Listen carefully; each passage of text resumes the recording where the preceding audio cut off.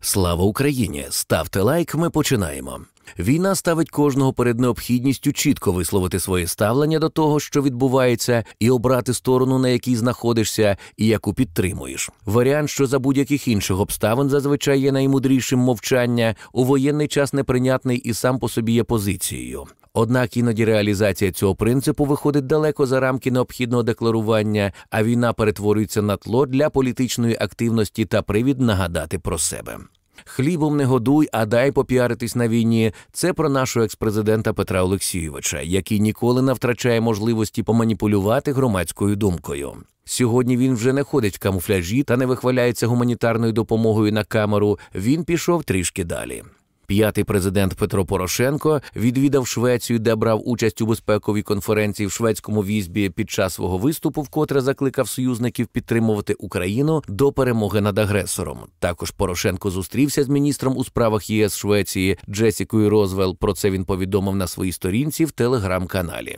Обговорили ключові питання порядку денного наших відносин з Європейським Союзом, включаючи реалізацію рекомендацій Єврокомісії для відкриття передступних переговорів, подальшу макрофінансову та військову підтримку з боку ЄС, підготовку довгострокового плану підтримки України на 50 мільярдів євро, посилення санкційного режиму проти Росії та конфіскацію заморожених російських активів для цілей післявоєнної відбудови України, написав президент. Петро Олексійович, а вас не бентежить те, що цей план підтримки України на понад 50 мільярдів євро попередньо обговорювався ще два місяці тому, і він затверджувався представниками ЄС та нашим керівництвом ще до того, як ви поїхали у Швецію? Чи можливо тема щодо посилення санкційного режиму проти Росії та конфіскацію заморожених російських активів не звучала від нашого президента? Для чого маніпулювати думками населення? Це називається піар на війні, ніяк що інше. Важливо пам'ятати, що війна це руйнівний і негативний процес, і вона не повинна використовуватися як інструмент для досягнення особистих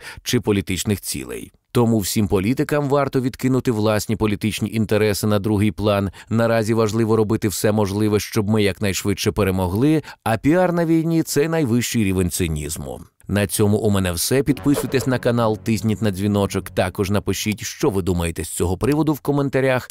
Будьте здорові та бережіть себе.